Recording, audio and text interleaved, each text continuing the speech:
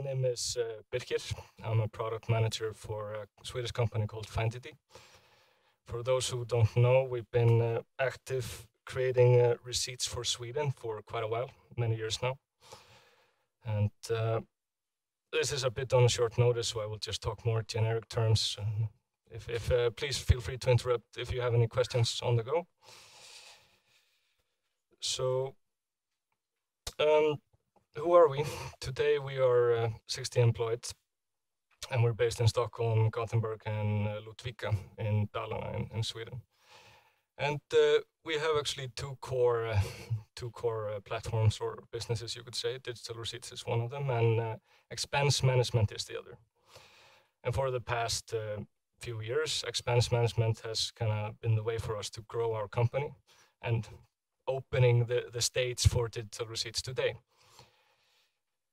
Um, so in our, um, I can just mention, um, we we actually um, we had a pretty big uh, breakthrough this year when we joined forces with a, another company called Kivra. I don't know if you know about it, but it's uh, like a Swedish uh, digital um, or uh, basically an inbox for your mail in Sweden. Quite trusted by by many players in Sweden. I think they have around three million users. And uh, when they joined, uh, or when we joined forces, the Swedish market kind of opened up for the e-receipts. And uh, the main reason for that for us was uh, because uh, Kivra is a really trusted brand from the consumers. They kind of regard it as a, as a state brand almost. So um, that opened uh, with other players, and, and now we're building the digital receipts for ICA, for example. Example. I'm, I'm from Iceland. I tend to actually say this wrong. ICA. Some people think I say IKEA when I'm saying it, but so that is what we're launching now in Sweden. And, and after that, um, a lot of other players uh, opened up, and I will kind of talk a bit more about the ecosystem we have. So, few facts. We have uh, yeah, 4 billion receipts in Sweden every year, and 200 million are for business purchases. So, you kind of see maybe the logic why we went with expense management in the beginning. Of course, uh, lately in Sweden, which is fantastic, and in the world, the environmental um, arguments are getting bigger and helping us kind of drive that as well. So it's not only the merchants' needs, it's also the consumer needs that are balancing actually uh, the development at the moment and helping us uh, driving maybe more ECR players and the cashier systems to us who are afraid to not be able to kind of yeah, meet the customer, not the merchant. So, so people are thinking ahead which is quite interesting because I would say one year ago it wasn't really like that. So this is happening really fast now. Um, oh, I'm going backwards here.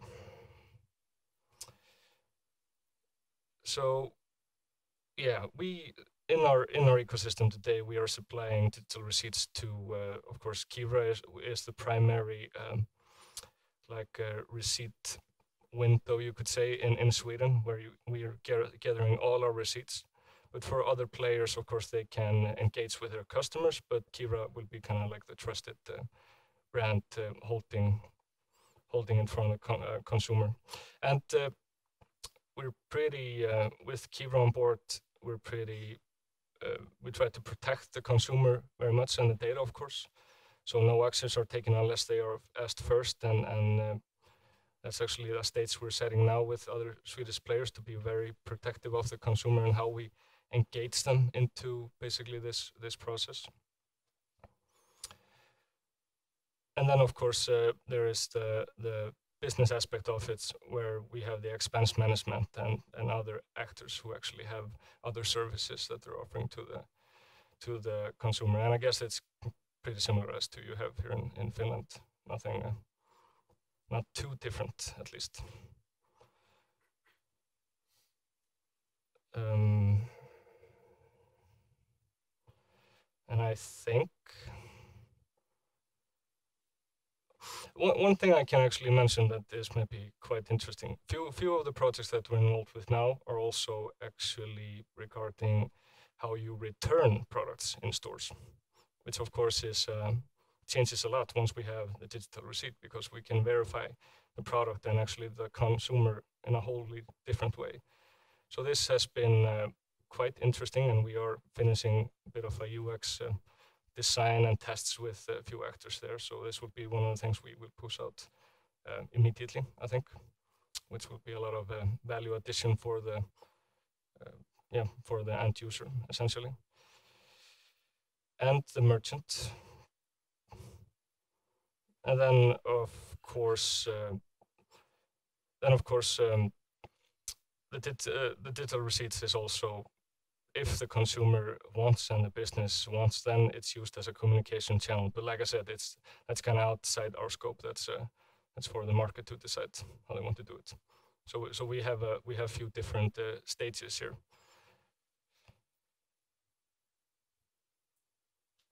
And I think actually that is more or less it.